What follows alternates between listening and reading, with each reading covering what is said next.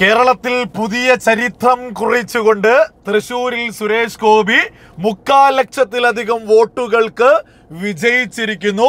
ഈ സമയത്തും വോട്ടെണ്ണലുകൾ മുന്നോട്ട് പോയിക്കൊണ്ടിരിക്കുകയാണ്. പൂർണമായിട്ട് എത്തിയിട്ടില്ല. തൃശൂരിൽ സുരേഷ് ഗോപിയുടെ വിജയം ഉറപ്പിച്ചതിന് ശേഷം നമ്മുടെ മാധ്യമങ്ങളൊക്കെ തന്നെ സുരേഷ് ഗോപിയുടെ അടുത്തെത്തിയിട്ട് കാര്യങ്ങൾ ചോദിക്കുമ്പോൾ തുടക്കത്തിൽ തന്നെ മാധ്യമങ്ങൾക്ക് കൊടുക്കേണ്ടത് അവരുടെ മുഖത്ത് നോക്കി തന്നെ ആഞ്ഞടിച്ചുകൊണ്ട് പറയുന്നത് നിങ്ങളൊന്ന് കേട്ടു നോക്കൂ.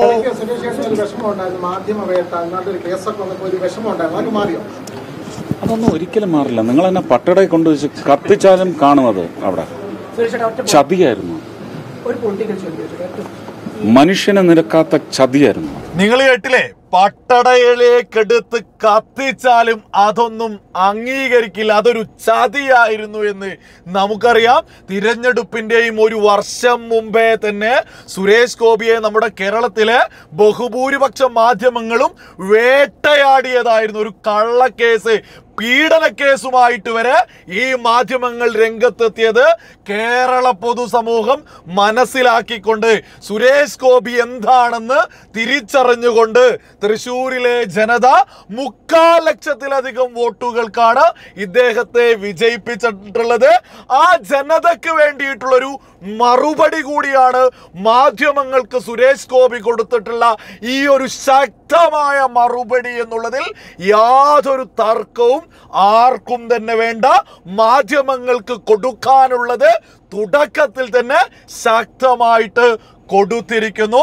കേരളത്തിലൊരു പുതിയ ചരിത്രമാണ്. കേരളത്തിലൊരു മാറ്റമാണ്. ഇത് വരാനിരിക്കുന്ന നാളുകളിൽ കേരളത്തിന്റെ രാഷ്ട്രീയം തന്നെ മാറുമെന്നതിന്റെ ഏറ്റവും വലിയ തെളിവ് തന്നെയാണ് സുരേഷ് ഗോപിയിലൂടെ ഈ ഒരു റിസൾട്ട് എന്നുള്ളതിൽ യാതൊരു തർക്കവും വേണ്ട.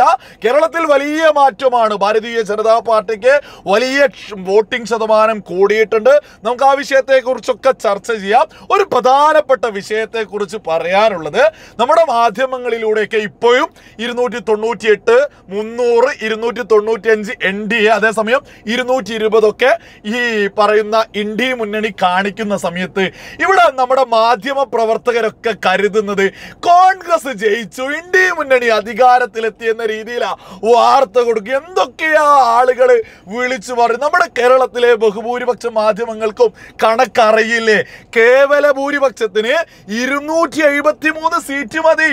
എൻ ഡി എക്ക് ഇരുന്നൂറ്റി തൊണ്ണൂറ് ഉറപ്പായി. അതിന് മുന്നോട്ടും ഇനി എത്ര എന്നുള്ളത് പുറത്തു വരാനാണുള്ളത്. എന്നാൽ നമ്മുടെ മാധ്യമ പ്രവർത്തകർ വിളിച്ചു പറയും ഇവിടെ ഒരുപാട് ആളുകൾ ഹിന്ദി മുന്നണി വിജയിച്ചതുപോലെയാ. ഒരുപാട് ആളുകൾ കമന്റ് ബോക്സുകളിലും നാനൂറ് പറഞ്ഞു എന്നൊക്കെ വിളിച്ചു പറയുന്നുണ്ട്. അവരോടൊക്കെ തന്നെ പറയാനുള്ളത് നരേന്ദ്രമോദിയും അമിത്ഷായുടെയും വളരെ വ്യക്തമായിട്ടുള്ളൊരു തന്ത്രമായിരുന്നു നാനൂറ് എന്നുള്ളത്. ആ നാനൂറിൽ ചുറ്റിപ്പറ്റിയത് കൊണ്ട് തന്നെയാണ് ഇന്ത്യ മുന്നണിയൊക്കെ ഈ ഒരു ഗതികേടിലേക്ക് വന്നിട്ടുള്ളത്. ഒരു ഒരു അടുത്തുപോലും അതായത് കേവല ഭൂരിപക്ഷത്തിന്റെ അടുത്തു പോലും എത്താതെ നമ്മൾ മനസ്സിലാക്കേണ്ടത് രാജ്യം പത്തറുപത് വർഷക്കാലം ഭരിച്ചൊരു പാർട്ടി ഒരു ഇരുന്നൂറ് കടന്നപ്പോഴേ ഇവർ വിജയിച്ചതുപോലെയൊക്കെ മനസ്സിലാക്കാൻ ഈ ആളുകൾക്കൊന്നും യാതൊരു കഥയുമില്ലേ? ഗാന്ധി കുടുംബമൊന്നുമല്ലാതെ നരേന്ദ്രമോദി രാജ്യത്തിന്റെ ചരിത്രത്തിൽ ആദ്യമായിട്ടാണ് ഒരു വ്യക്തി മൂന്നാമത് പ്രധാനമന്ത്രിയായിട്ട് വരാൻ പോകുന്നത്. ഇത് രാജ്യത്തിന്റെ ഒരു പുതിയ ചരിത്രമാണ്. തുടർച്ചയായിട്ട് ഭാരതീയ ജനതാ പാർട്ടിയുടെ ഈ മൂന്നാമത്തെ ഭരണം എന്ന് പറയുന്നത്.